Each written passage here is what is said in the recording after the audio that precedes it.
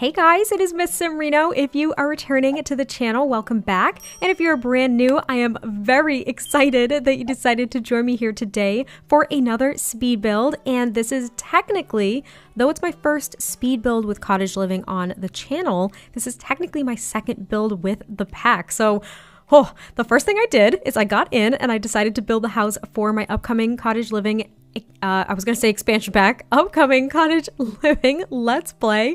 Oh gosh, I'm going to be stumbling over my words so much. But I am doing a let's play with this new expansion because the second it was announced, I went crazy with a story that I wanted to tell. I was so excited. I even commissioned voiceover work for the very first part, and I cannot wait to hear what you guys think of it because when I got the actual read through, I think I legitimately cried. Like, I genuinely did cry. It was so cool. But anyway, let's focus on this build. It is just a tiny little cottage. I basically wanted to start small with uh, some of my builds too. Like, even though the first one I did that you guys will see soon is bigger, it's more of a family home. I went with the very stereotypical, just like rectangle shape, which I know is true to a lot of English cottages, especially out in the Cotswold area. But I really wanted to try to challenge myself and come up with different shapes and kind of try things that are a little bit more whimsical too, even though it's not really my preferred style. And when I was building the other house, I really wanted to use these windows and this swatch in particular with the dark blue shutters. I thought it was so, so cute, but I couldn't really make it work for the other cottage that I ended up making. So doing this one was really, really nice. And I think I wanted to show this one first because it's not as disorganized, I suppose you could say.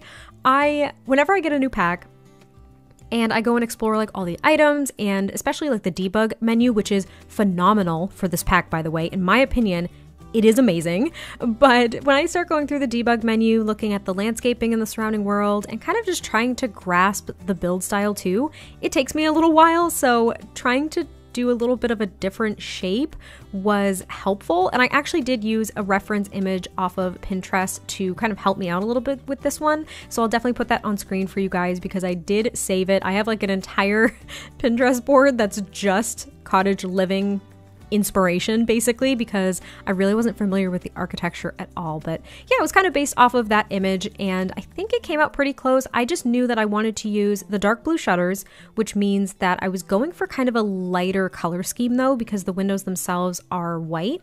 So I wanted to use one of the lighter bricks, which meant a little bit of a lighter brown for the thatched roof and so on and so forth. Here we have the final product. And I think it came out really, really cute. I think at the time of me recording this, I'm going to be titling this Cute Cottage because I can't think of anything else. But we spent a lot of time outside as well because I was still trying to get my footing with the entire debug menu, see what was in the regular menu versus debug because in the regular menu, I thought there were going to be a lot more decorations. I don't know why I was anticipating that. I think it's just because of everything we've seen in the trailer. We we just saw so many things at once. I thought there was going to be a lot more in the regular catalog, but there is actually, I would say, I, mean, there's more because it's debug, but there are a lot of really fun decoration items in debug. So I use that for most of the landscaping. And I also used a few other packs too. This is not pack restricted, which I want to make sure I mention. If anything is pack restricted, it'll be in the title as well of a video, just so you guys know. But this is not pack restricted. However, I did only use a limited number of packs, which is surprising for me. I was just trying to see what I could put together and I try not to think about it too much. And I think I only use like six packs they will be listed on the gallery. So this build is actually already up in the gallery. I should mention that too. Basically, when I finished my cottage living build, I did two of them right off the bat. And when I finished them, I just threw them on the gallery because I figured people might be looking for cottage living builds to play over the weekend now that the pack is out. So I thought, hey, why the heck not? Just throw them on the gallery. So you guys may already be playing in this house for all I know. but yeah, it only uses like six packs or something, maybe five. I can't recall. But they're listed in the gallery if you are curious as to what might be missing if you don't own some of those packs. But to be fair, I think even in using maybe like six packs, it's an item or two from each pack, honestly. It's really not that much, which I was very, very surprised to see. But we are now on to the interior. So this is only a one bedroom, one bathroom cottage. It was all I could feasibly fit in here without the rooms getting too, too small.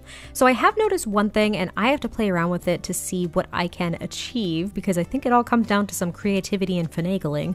But I have noticed that a lot of these cottages, like a lot of the things that I'm seeing on Pinterest for reference, like inside the roof is technically the second story, so there might be the bedrooms upstairs and the and the entire first floor is all living space.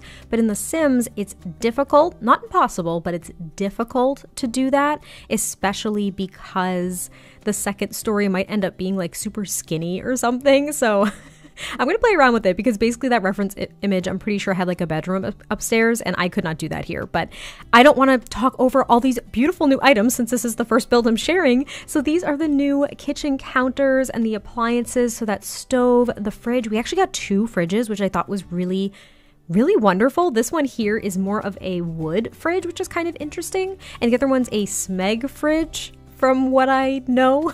My friends in the UK have told me this, so I'm learning new things. There's also this new dining set and the wallpapers. You guys, the wallpapers are so freaking cute. I'm assuming that most of you have seen the early access content at this point, so I don't have to call out everything, but I don't know, just everything is so cute. And for this build, I decided to go super cutesy. Like the outside is really, really cute. The inside, I think, is precious. The other cottage that I'm going to be sharing in the next few days is I don't know if it's a little bit more rustic, I guess you could probably say. Like there's a pond, which this one ends up having a pond too. This was my second time using the pond tool ever, which is so easy to use from my perspective. Like it's so much easier than even terrain tools, I think, which is odd because terrain tools are really hard for me to use, but Anyway, the other one is a little bit more rustic and it has kind of a darker color scheme, whereas this one, I wanted to go really light and cute and airy, and that's not typically my preferred decorating style, but this pack makes it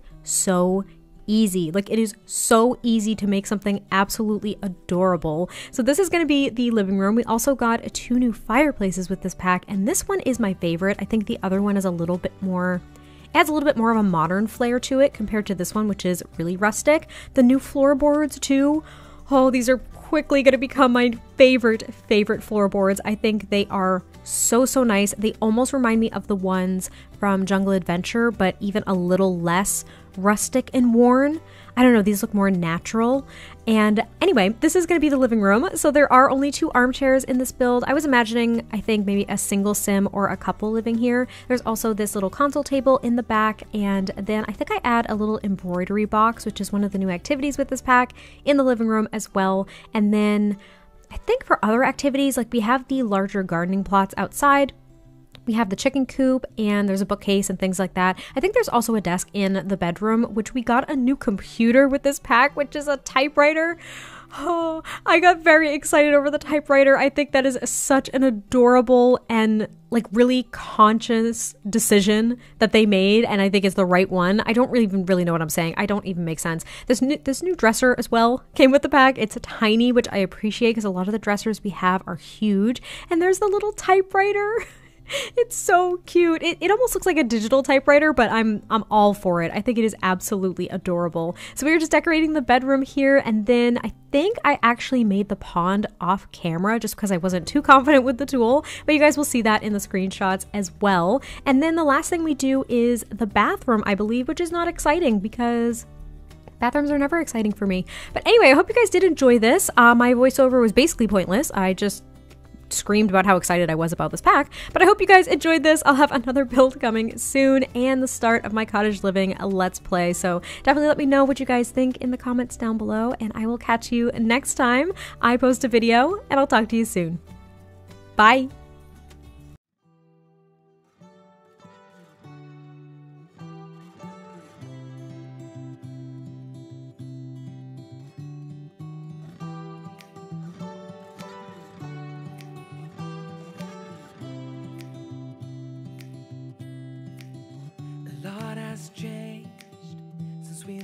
Spoke. Life's been good to you, and I see that you're with someone new. Maybe you are better off now that you're with him. But when I see your face, I can't stop myself from spiraling. Now I'm falling, I'm falling, I'm falling, I'm falling down. Cause I can focus when you are around. But I will try